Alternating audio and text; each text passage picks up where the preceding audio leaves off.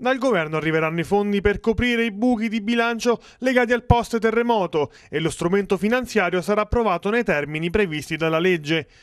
Ne è certa la senatrice del PD Stefania Pezzopane, che in questi giorni è in contatto con la sottosegretaria De Micheli, che detiene anche la delega per il terremoto abruzzese. Se i fondi arriveranno come promesso, pertanto, non si arriverà allo scioglimento del Consiglio Comunale, anche se è tutta da valutare l'ipotesi che l'aumento della Tari possa essere scongiurata. Da Villa Gioia è partita una richiesta di almeno 18 milioni di euro, secondo alcune stime si potrebbe arrivare fino a 24, ma la sensazione è che da Palazzo Chigi lo stanziamento possa arrivare, ma in quantità inferiore a quanto invocato dal sindaco Massimo Cialente, che nelle scorse settimane ha avuto parole di fuoco sia per il governo sia per la sottosegretaria Di Micheli. Forse non la scelta migliore in vista della decisione di uno stanziamento che potrebbe essere decisivo per non aumentare le tasse e tagliare servizi erogati dal comune. Stanno valutando queste richieste che si è diciamo, eh, superata la fase più critica, che c'è un impegno del governo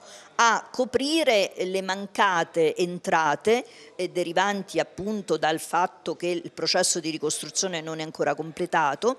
e le maggiori uscite derivanti dal fatto che la città ovviamente ha una sua organizzazione sociale molto più complessa che